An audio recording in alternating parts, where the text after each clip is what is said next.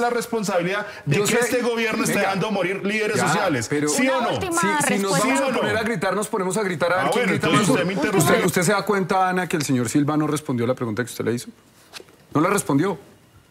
Porque la pregunta era bastante No, clara. claro que la eh, respondí. doctor Yo lo que dije es que la No, no persona que está investigando usted a se va Jesús las ramas, tiene usted un se va sesgo ideológico y dice que, que tiene va un sesgo ideológico y usted está lo- y lo va a 100% sacar y seguro va de no sé qué, no sé qué. Pero aquí la pregunta es bastante Pero, clara. concejal, le ¿Y estoy qué pasa si hubo un entrampamiento? ustedes son unos ¿Qué pasa si sí hay un entrampamiento? la paz. Entonces, si uno incumple, por un lado está mal, pero si el otro incumple, por el lado del porque es la está constitucional, bien. es la ley, es la ley, así Claro, a usted no le si guste. así, viene de parte capítulo cuarto de la constitución política, Claro, así lo a que usted no es le que a guste, usted es la ley. lo que le gusta Punto. es la guerra. Entonces dígalo de ¿Dónde- frente. dónde- a mí Dígalo me gusta la guerra? A usted lo que le gusta es que esto siga así y entonces le parece Ok. inaceptable Ana, que a haya unas. El, de el- paz. el concejal dice que a mí me gusta la guerra. Claramente. Y vamos con. A- no con- solamente a usted, a todas vamos las a derechas con de este datos país. y porcentajes claros. A todas Del las gobierno de Iván este Duque al gobierno de Gustavo Petro, la muerte, el asesinato a firmantes de paz ha incrementado un 58%. Y a mí me duele eso. No, se nota que Me les duele eso, porque Se aquí nadie está hablando llevan- de que le gustan los muertos. 50 Al años parecer, manteniendo lo que pasa guerra en es este que país los- porque les molesta la guerra. Vea, las Claro derechas en la guerra. Colombia, Claro que las la derechas en Colombia, señor Silva, tienen una responsabilidad política también. Y hoy el gobierno de izquierda Aquí, tiene una responsabilidad política usted, con los muertos usted, firmantes de Señores, paz. Ya que hablamos de la segunda marquetalia, hablemos de la primera. ¿Cuánto ha disminuido la muerte de El abuelo sociales? de quién, el ¿Cuánto abuelo de disminuyó? quién bombardeó a esos campesinos, el abuelo de Paloma Valencia. O sea, aquí hay una sistemática búsqueda de, Señor un, Carrillo. de un conflicto armado interno propiciado por parte de las derechas. Entonces, hagamos una discusión más honesta. ¿A ustedes les sirve mantener la guerra vigente en Colombia? ¿Sabe a quiénes no les sirve?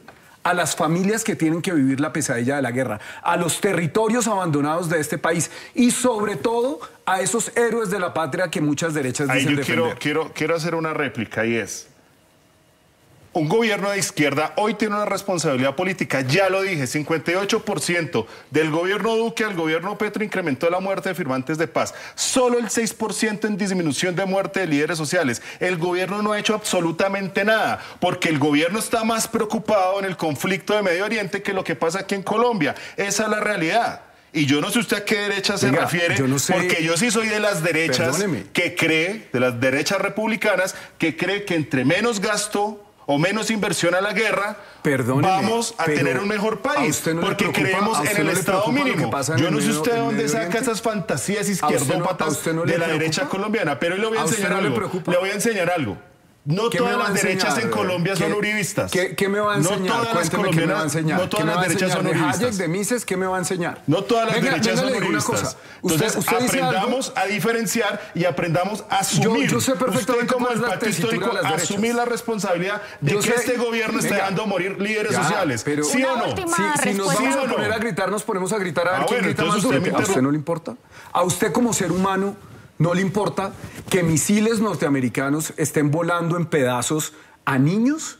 Que haya en este momento familias, llámense como se llamen, tengan el apellido que tengan, tengan el color de piel que tengan, que haya familias, cientos de familias, que estén cargando los pedazos de sus niños en bolsas de basura, desmembrados por los misiles norteamericanos y por el Eso mismo pasó en evidente- Ucrania y por la Duque se- se evidente preocupó por lo de violación del derecho internacional humanitario por mismo, ¿no? parte del Petro Estado de lo Israel. mismo. ¿A usted Es que usted no tiene le razón, duele? es que usted tiene razón. ¿A usted eso Lo no que le pasa es duele? que usted ¿Usted no es solo llora capaz de condenarlo? No, ustedes solo lloran por el ojo señor. izquierdo, no lloran por los dos ojos. Esa es una apreciación Esa es que la usted realidad. hace. Bueno, No, señores, esa los no es la interrumpo. realidad. Los voy a Esa es su interrumpir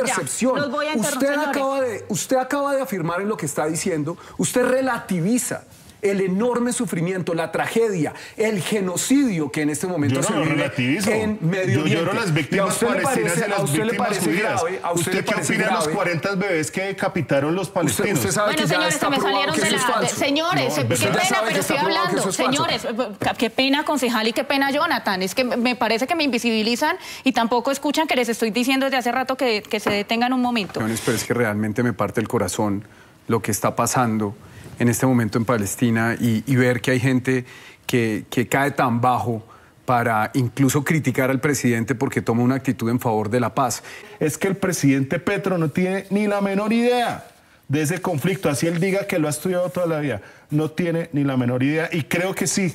Creo que estamos en un momento, Ana, de que esto que está pasando con Iván Márquez y lo que está pasando en Colombia, el presidente se enfoque 100% en eso, porque las víctimas si algo deben saber hoy las víctimas es que este gobierno no tiene una hoja de ruta clara con esa papa caliente de un señor como Iván Márquez que ya ha incumplido dos acuerdos de paz. ¿Incumplirá uno tercero? De, quiero dejar esa pregunta en la mesa. Si el eh, gobierno hoy decide hacer un proceso de paz con Iván Márquez, estoy 100% seguro que la Corte Constitucional lo va a tumbar. Y gracias a Dios, yo sí lo doy gracias a Dios porque estamos en un país que tiene división de poderes y no se hace lo que el emperador de turno viene a imponernos, sea de derecha o sea de izquierda, sino que definitivamente aquí lo que hoy el país tiene que hacer respetar es la paz.